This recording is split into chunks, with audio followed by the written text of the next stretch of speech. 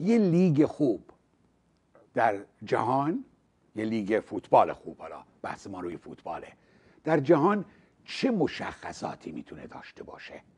مثلا توی یه لیگ خوب باید استادیوم های در واقع زیبا داشته باشه. استادیوم هایی که خدمت شما ارز کنم محیطی شاد داشته باشن مدرن باشن وسایل رفت و آمد راحت داشته باشن.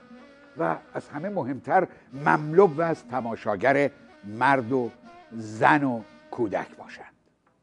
یه لیگ خوب یکی دیگه از مشخصاتش قاعدتا باید این باشه که فوتبالی زیبا با تکنیک با تاکتیک هیجان انگیز پر از گلهای زیبا باید اون رو داشته باشه.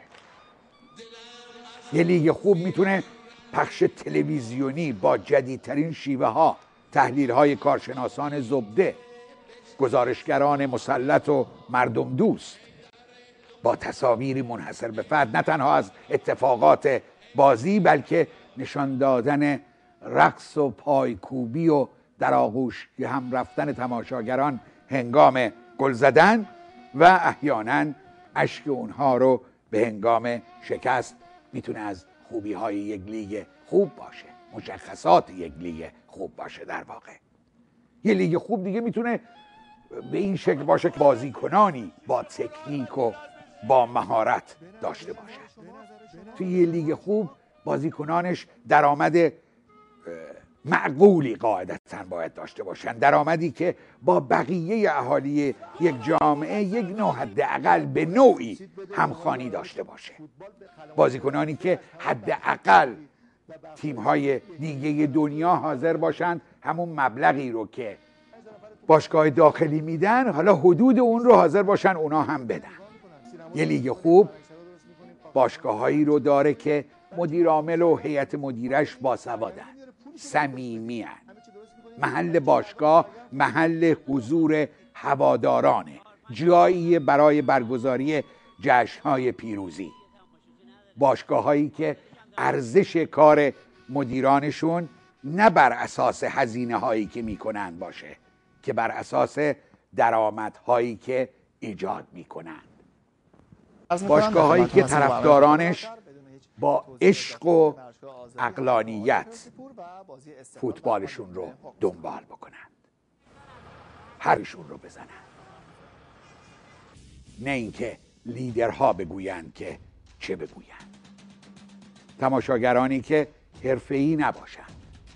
صد تاشون طرفدار حسن باشند و صد تاشون طرفدار حسین و تمرین فهاشی کنند. لیگ خوب لیگی است که یکی از مشخصات دیگرش حداقل میشه پیروزی های بین المللی داشته باشه. نه داخل خودمون هی این اونو ببره اون اینو ببره به این بگیم نمی‌دونم سرور اونه به اون یکی بگیم سرور اونه. و در مسابقات بین المللی که اگه پیروزی به دست بیاد بالاخره به نوعی غرور ملی ایجاد می‌کنه شادی واقعی ایجاد می‌کنه همش شکست بخوریم این مشخصات یه لیگ خوب نیست. اما دوستان عزیزم اساسا این لیگ ما از نظر اقتصادی اجتماعی ورزشی فرهنگی و سیاسی چه به ما میده و چه به حکومت میده.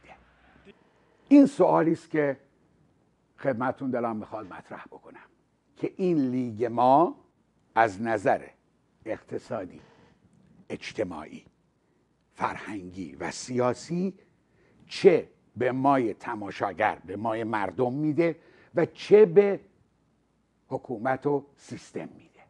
این سوال سوال امروز ماست. در فیلمی که اول برنامه می‌دیدید عزیز محمدی که الان دیگه سر کار نیست. این مسئول برگزاری لیگ بود سردارم بود اومده بود. تو یکی از مصاحبه خیلی همچی بیرو درواسی میگه که هدف چیست.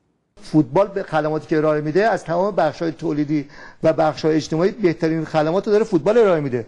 فوتبال داره 75 هزار نفر تو ما شب می‌کشه تو استادیوم. 20 میلیون 30 نفرم پای تلویزیون میشن نگاه می‌کنن. ما این همه پارک درست می‌کنیم سینما درست می‌کنیم فرنگسرا درست می‌کنیم باغ درست می‌کنیم همه چی درست می‌کنیم. برای اینکه مردم رو سرگرم کنیم. این فوتبال بسیاری میگن خب این فوتبال جلوی فساد می‌گیره آدما نمیرن. اما به جاش میرن استادیوم. این استادیوم که اکثرا خالی هستن. بازی سبای قم و سایپا 300 تا تماشاچی داره. پس اینجور هم نیست. ضمن اینکه خب از پای تلویزیون که بیشتر اون فسادی که میگن بیشتر این فسادهای جلوی تلویزیون اتفاق من چون نشستنی است بیشترش.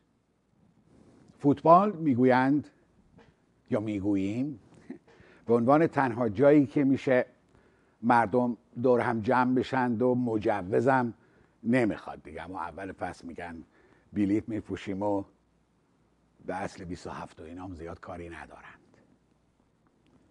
این دور هم جمع شدن شاید بتونه تاثیر مثبتی رو روی روند مسائل اجتماعی جامعه بگذاره. اما نه با تماشاگر چه می‌دونم حیا کن و رها کن و اینجور چیزها. اینجور چیزاش میشه اون توپ فش بشه با اینا نه. این دور هم جمع شدن ها زیاد نمی‌تونه تأثیری داشته باشه. عادل فردوسی پور در یک مجلسی یه نکته مهمی رو گفته بود. گفته بود که در بین تماشاگرانی که به مسابقات فوتبال میان یک دونه کتابخون نیست. من روی این مطلب دو تا بحث دارم. یکی این که به هر حال این خیلی حرف گسترده ایه احتمال دارد که بین تماشاگران فوتبال کتابخان هم باشه. اما اگر نباشه ما باید به این بیاندیشیم که چه فضایی ما ایجاد کردیم. استادیوم ها رو با کتابخون ها باعث قهرشون شده. در واقع کتابخون به نوعی با کتاب قهر کردن.